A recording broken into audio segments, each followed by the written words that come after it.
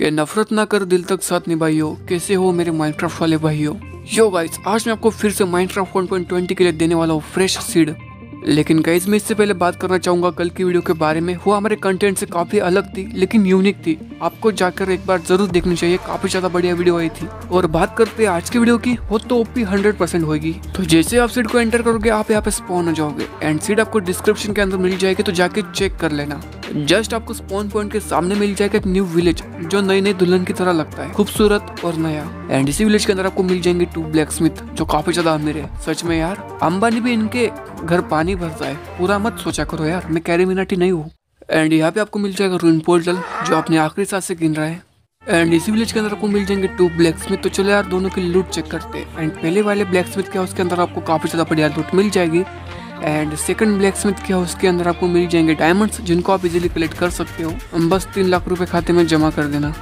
And इसी village के पास में आपको इन कोऑर्डिनेट्स में मिल जाएगा सेकंड विलेज जिसको आप एज ए टूरिस्ट प्लेस भी यूज़ कर सकते हो।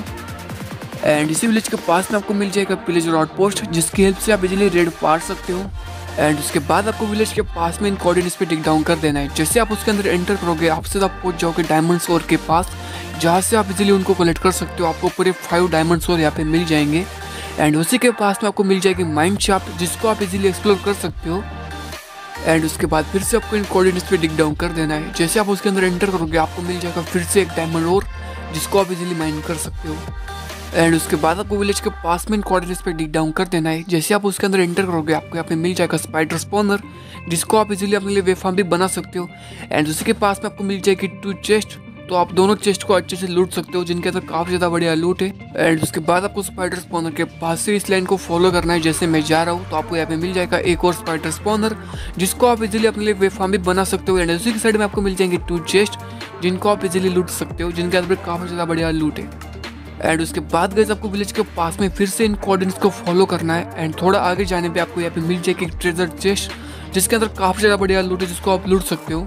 एंड उसके बाद गए फिर से आपको इसी विलेज के अंदर इन कोऑर्डिनेट्स पे डिक डाउन कर देना है। जैसे आप उसके अंदर एंटर करोगे, आप सीधा पहुँच जाओगे स्ट्रॉन्ग होल्ड के अंदर, जहाँ से आप इजीली एंटर ड्रैगन को डिफीट कर सकते हो।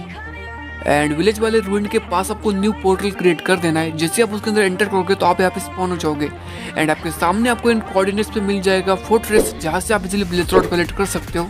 एंड फोर्ट्रेस के पीछे से आपको मिल जाएगा बैक स्टैंड जहाँ से आप इजीली गोल्ड कलेक्ट कर सकते हो, या उसको लूट भी सकते हो। आई होप गाइज़ आज की वीडियो आपको पसंद होगी। पसंद होगी तो लाइक कर देना एंड कल की वीडियो की लिंक भी आपको डिस्क्रिप्शन के अंदर मिल जाएँगी। तो प्लीज़ यार उसको भी जाके देखना। तब तक के लिए बाय बाय एंड कमेंट में मुझे बताना नेक्स्ट वीडियो तब तक के लिए जय श्री राम।